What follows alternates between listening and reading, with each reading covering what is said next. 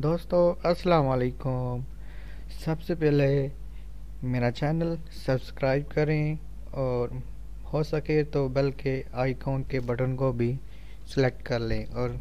इससे आपको ये फ़ायदा होगा कि जो भी मेरी नई वीडियो आएगी, वो आपको फ़ौर नोटिफिकेशन मिल जाएगा।